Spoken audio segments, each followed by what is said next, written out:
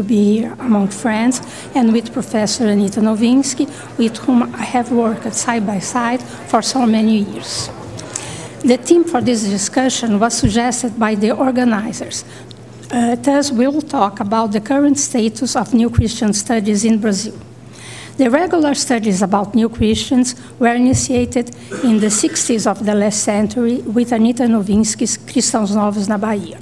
She opened the world a new team, team grounded in primary sources, research, and documental archives. She opened a new chapter in Brazilian history, in New Christian history, and in Jewish history. She inaugurated what is, what is now called the Novinsky School, that comprehends most of the research, researches on the Inquisition that, that were done in Brazil in the last decades, both about new Christians as well the, research, the researches on other aspects of the Inquisition action in the colony.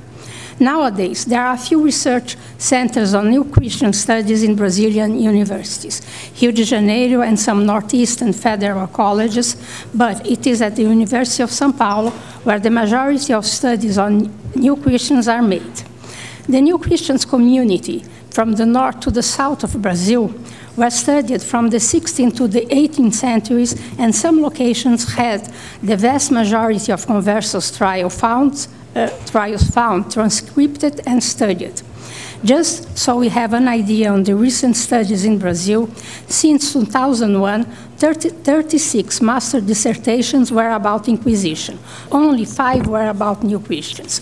Some of those studies were published, and, and their majority may be accessed online. In the last five years, very few studies, studies approached the new Christians in the colony only seven dissertations and only one PhD thesis. There is, among others, websites, one in the University Federal of Sergipe named The Atlantic Diaspora of the Sephardi, uh, dedicated to the study of the relationship between the New Christians and the Kabbalah. There are a few literary works that deal with the New Christians, uh, as Professor Anita uh, told you about Machado de Assis, as some movies, both fiction and documentary. Currently in Brazil, we have a great number of works about the Inquisition as an institution, the Inquisition, the Inquisitors and the Familiares, and the inquisitorial structure in the colony. There are also a number of works on the victim, victims imprisoned by other crimes. The aforementioned studies even when not dedicated to the new Christians, follow a pattern of disregard to the study of the victims, especially the new Christians, despite the fact that all scholars agree that the main targets of the Inquisition were, in fact, the new Christians. These studies dismisses the personal suffering of the imprisonment and the charge of heresy of Judaism. They also dismiss the awful physical conditions of the inquisitorial prisons, even affirming that they were not so bad since they allowed for meals and sunbathing. They justify the inquisitorial actions of persecuting, arresting, and killing people due its ancestry and religion, religion that were defined by the Inquisition, Inquisition regiments and documents, and where Judaism was not always meant, meant what we understand as such, but what the Inquisitors, Inquisition thought it was. We know that 1,076 prisoners were sent to Lisbon, the majority accused of Judaism. In order to know who the, those Christians were, the, who were those new Christians. Uh, the main historical sources are the handwritten documents of the Tribunal do Santo Ofício, of Holy Office of the Inquisition, as well as the trials of habilitação in Gênere. Both sources are also fundamental to the studies of the blood purity, and one of the main instruments to know the origins of the family, mainly by the genealogies, genealogies that are one the, of the fundamental pieces of the trial files. Uh, in the century and the 17th century, 310 prisoners were arrested by the Inquisition. Uh, from these, eight, 108 were uh, accused of Judaism. Only those accused of Judaism were sent to be judged in, the, in Lisbon. The others stayed in the colony. In the 18th century, 663 persons natural from or living in Brazil were, arrested. Out of those, 484 were new Christians accused of Judaism heresy, which clearly demonstrate the greater interest of the Inquisition for the new Christians over those accused of other crimes. The main drive for the Inquisition were the denunciations, and their arrests were made following the family line. Mothers that denounced sons, sons that reported grandparents, and then all the relationship net of the first person arrested. And that is the path that the researchers follow. Most of the uh, research in Brazil uh, follow the families. Pernambuco was the first location where the new Christian establishes themselves, and their mark continued to be relevant until today. It was also the place where it was established the first synagogue of the, synagogue of the Americas in the 17th century during what we call the Dutch period. Many new Christians that had left Recife, Olinda, and established established themselves in Paraíba, a region that belonged to the Pernambuco's bishopric and where the Holy Office acted with more vigor. The new Christian crypto-Judaism was more evident in some regions, as in Minas Gerais. In the inquisitorial documents, the region of Ribeirão do Carmo appears, appears as one of the Judaism centers in Minas Gerais. The, re the residence of Francisco Ferreira Isidro, a businessman, uh, who, who, was loca located near uh, Ribeirão do Carmo, is often quoted as a meeting place for the new Christian merchants where they discussed business and practi practiced Jewish rituals and ceremonies. He was a preeminent businessman and kept relationships with merchants from all over Minas Gerais, Bahia, and Rio de Janeiro. He received uh, the new Christians annually in his house from Yom Kippur when they, they, they say they together fasted, fasted to celebrate what was called the Great Day. From the prisoners in Minas Gerais in the decades of uh, 1730s and the 1740s, mo most were recent immigrants that arrived from Portugal in the 18th century.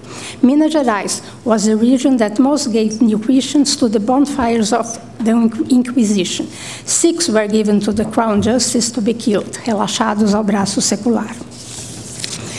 In Rio de Janeiro in the 17th century, crypto-Judaism was more evident that it, it would be a, a century later, since the end of the 16th century, new Christian families established in uh, Rio de Janeiro, and among them there was those who, who were running from the Inquisition that at the time began to investigate the behavior of and the fate of the settlers in the northeast of Brazil, as well as those who just arrived from Portugal, already tried by the Inquisition, heretics according to them. Being sent to Brazil was a part of their sentencing as heretics.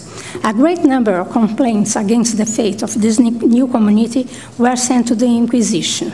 A dentist, a new Christian, in, in uh, his house in the early uh, 1620s, uh, uh, gathered, uh, he gathered a group of new Christians every Friday, and in, the, in it they made their snoga until the pretenses of playing cards.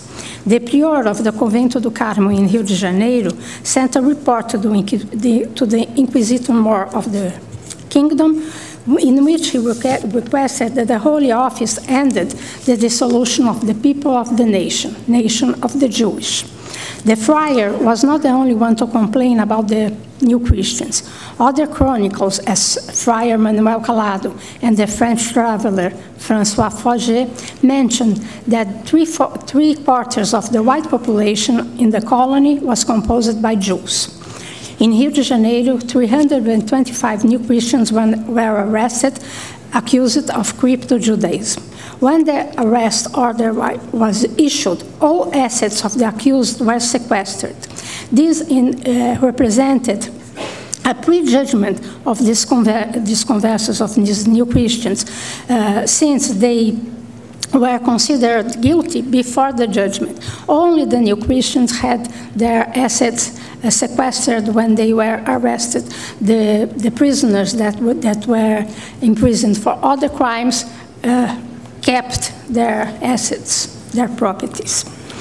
At the end of the 16th century and the beginning of the 17th century, we found that we can find at least three esnogas denounced to the tribunal. One in Matoim in Bahia that belonged to the Antunes family, one in Pernambuco, Pernambuco and one in Rio de Janeiro. At least two more synagogues can, can be found in Minas Gerais in the 18th century. One was the house of the Ferreira Isidro, and we find new Christians meeting in specific hostels owned by people such as Domingo Ramirez, that after being arrested in Rio de Janeiro, was granted a permit to return to the colony and established, established himself in a farm near, near the Villa Rica de Ouro Preto. In these hostels, many new Christians were passing guests that reunited themselves in a snog.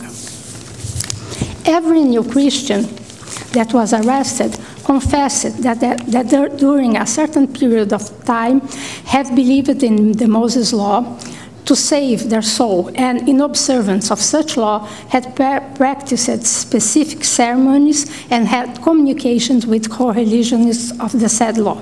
The new Christians knew that they were new Christians. They knew how they were new Christians through their mother, grandmother, or their father. In colonial society, everyone knew who was and who was not new Christian. From Jewish origin, they were baptized soon after they were born and grew up as Catholics. They went to the church, said through Mass, com communed, and confessed. Most of them were chrismated, knew all the Catholic prayers, made the cross signal, kneeled, and called for the, sign, the saints. To the outside world, all new Christians had exemplary behavior and looked exactly like the old Christians. However, they lived in a racist society that considered them impure and with infected blood. A society that repeatedly issues laws to maintain their exclusion, and therefore they had to develop survival tactics that varied in different regions of the country.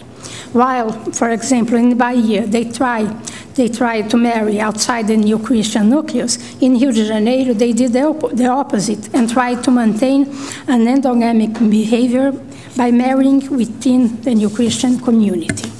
Right after the forced conversion, those who had been Jews and also their sons and even their grandsons continued to be secretly Jewish, the crypto Jews. With time, practicing Judaism became more complicated. The rules and behaviors from the law of Moses were gradually fainting from the memory as the new Christian community was getting more and more isolated from the official Jewish world outside the Iberian Peninsula. The difficulties in communication, the prohibition of schools of teaching the Bible and Hebrew, and mainly the mortal danger of being found out by the Inquisition, severely lim limited the Jewish practice to a few practices and principles committed to the memory. It was not a deep or orthodox Judaism. It was an oral transmission from those who knew the Jewish practice better. In the 18th century, the new Christians had been Christians for over two centuries, therefore not exactly new. New Christians were not persecuted because they were heretics to the Catholic faith, but mainly because they had a Jewish background.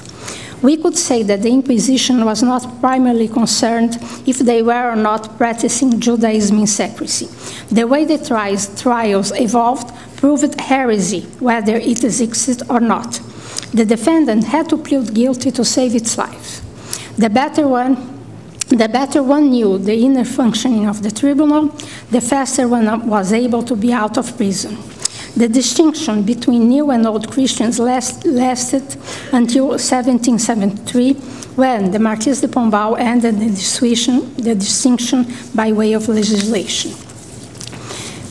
The Jewish memory was then fading until it disappeared from the new Christian and its descendants' conscience. However, tra traces of the new Christian culture remained alive on the mentality and even some practices, especially in the Northeast. That is explained by the fact that the Northeast was the first place where the first new Christians established themselves, bringing with them a stronger and, stronger and more recent memory of Judaism. Câmara Cascudo, one of Brazil's most important folklorists, tells that one reminiscence of a Jewish blessing was a popular saying that lives until today, passar a mão pela cabeça, to touch uh, the head. Uh, some of, these of those memories also remember the new Christian's martyrdom. Uh, he used to hear his mother say, Tem fogo para assar um judeu, there is enough fire to roast a Jew. A clear association with the bonfires used by the Inquisition to burn the new Christians. The Holy Office Tribunal, under the cover of heresy, looked for the Jew. The Jew, even after he went through the autos de fe and even being received in the arms of the church again, remained always a suspect of heresy. The discrimination was there evident as they, they were forced to use the sanbenito, the yellow star of the, the Iberian Peninsula. To sum it up, we can say that in the new Christian uh, question studies, some progress is being made. What should be, what should be done is to compare the diverse, the diverse regions and centuries to, to see the evolution of crypto-Judaism and the degree of assimilations of the new Christians in the society. The greatest challenge is to connect or to reconnect the Bnei Anusim to their original Jewish families. The use of different means uh, that we saw today, such as DNA, can help. The, genealogy, the, genealogies that we find in the trial files are also a very helpful tool. However, they do not show a Jewish identity or the existence of a crypto-Judaic memory. The Jewish identity and the Jewish memory are paramount to the definition of a Jew. I would like to thank you all for your attention and hope this presentation was helpful.